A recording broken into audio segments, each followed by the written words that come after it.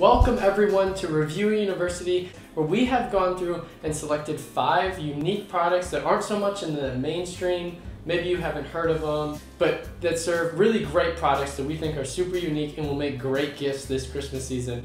And we are kicking it off here with the Tidbyt display screen. Uh, it's got this like retro type of vibe look to it. It looks and seems like a very simple type of product. So what you do when you, if you get this at tidbyt.com right here, T-I-D-B-Y-T.com, and what you can do then is you download the Tidbyt app and you can customize what you want to cycle through this display screen. Obviously you can choose from things like a clock, all the way to all the updated NFL scores around the league, uh, to MLB scores as well.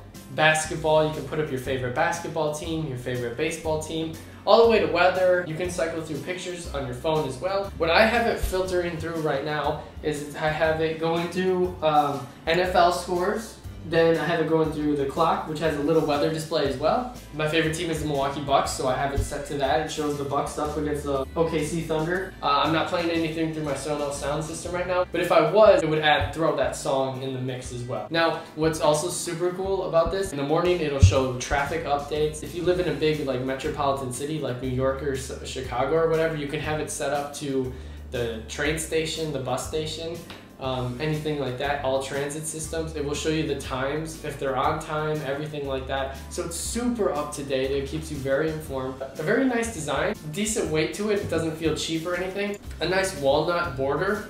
Um, feels really nice, feels very high quality. Right now you can get it for 179 bucks, free shipping at tidbyt.com.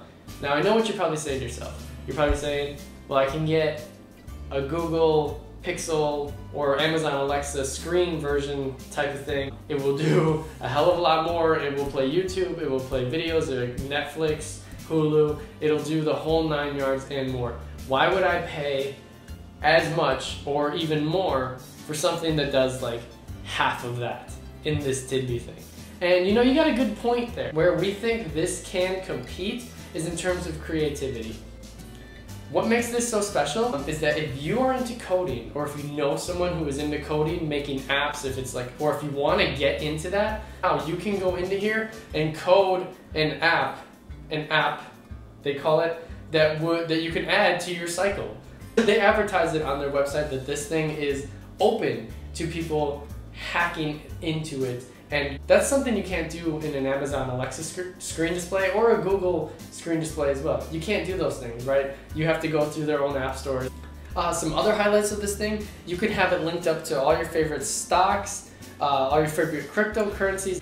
Also news, you can have it filtered through ESPN as well as New York Times news. But if there's something in the in their app that you don't see that you would like to be able to display on the screen, go ahead and code it. Make it. Make it happen. There's a guide on their website. They are very customer support friendly. They're easy to get in contact and they will respond in a timely manner as well. And I'm sure they would love to help you out with that as well. That is the Tidbyt display screen. Guys, thank you so much for tuning back in. Our five days of Christmas here at Review University, and we will see you tomorrow.